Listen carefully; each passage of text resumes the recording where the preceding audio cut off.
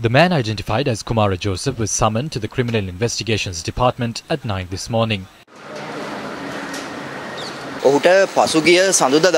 The Criminal Investigations Department had issued a notice to him on Monday. They wanted to record a statement from him over his comment on a post published by Father Cyril Gamini. Therefore, we produced our client today.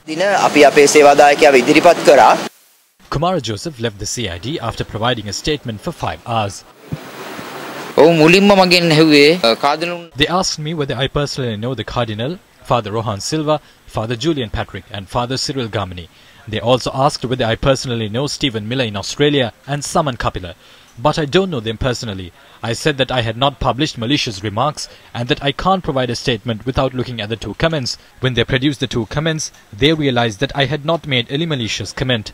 නමුත් මට comment දෙක බලන්න නැතුව මට මුකුත් කියන්න බැහැ කිනේ. Comment දෙක පෙන්නුවාම ඔවුන්ටත් වැටහුණා මම දේශාගතව ප්‍රකාශයක් එතන කරලා නැහැ කියන එක. පාස්කු ප්‍රහාරේ වින්දිතයන්ට යුක් it's clear that the government is taking steps to silence the Cardinal, Father Cyril Gamini, Father Rohan Silva, Father Julian Patrick, senior clergymen and other civil activists who are seeking justice over the April 21st attacks.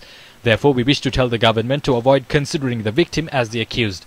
They are summoning people to the CID over comments posted on Facebook. Are we celebrating the 74th Independence Day without the freedom of speech?